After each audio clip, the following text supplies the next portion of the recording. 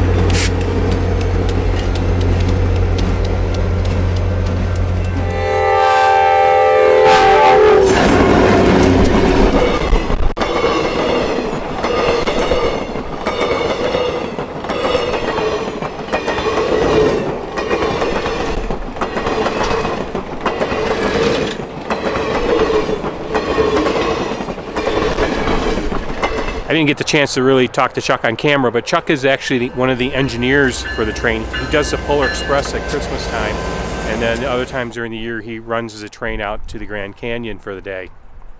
It's something he likes to do. He's uh, uh, been a railroad engineer for quite a while and enjoys that. There's a park near here that we've been going over to during the day and with the dogs, and the park is actually closed for the season so we were able to kind of go in there. It's actually a camping area and it's closed for the season. And we've been able to go in there with the dogs and, and allow them to go for a walk and actually walk them off the leash, which is something that our dogs don't get to do very often and they really enjoyed it.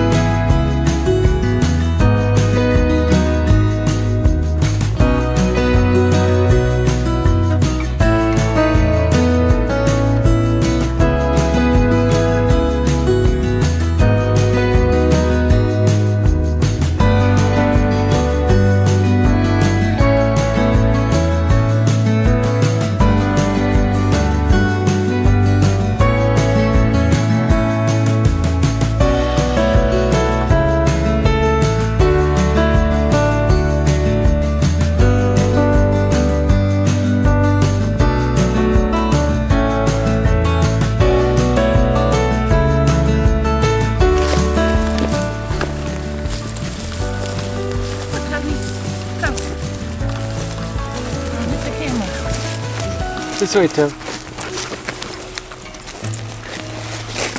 Come on, Monty.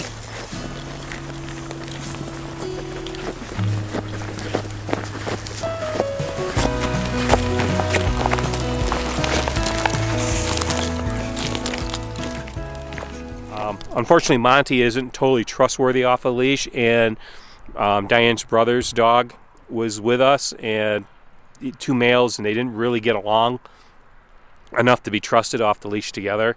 So I kept Monty on a long leash, but he got a lot of freedom out of that anyways and, and got a good chance to take a walk. We were only in Williams for a few days, and after having a Thanksgiving dinner with family on Friday, we had the opportunity to head into downtown Williams and check out the holiday decorations and some of the shops and such while we were there.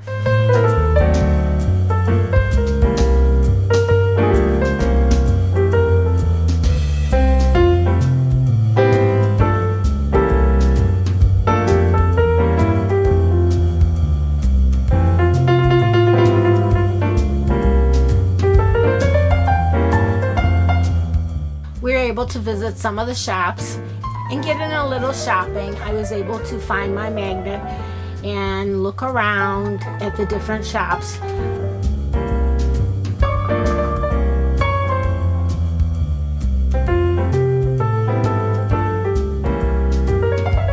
We also, while we were there, we decided to walk over to the train depot and check out the Polar Express, which was leaving that night.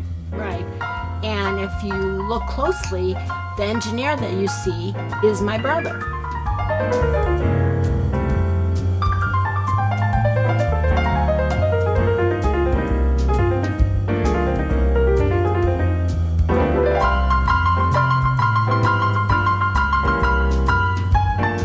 We walked into the the Grand Canyon uh, Hotel Yes. and checked out the lobby. That was pretty cool. And the train station. And the train station. Yep. While we didn't get a chance to ride the Polar Express, we were able to see that and um, the other steam locomotive that they run during the warmer weather, which was all decorated for the holidays.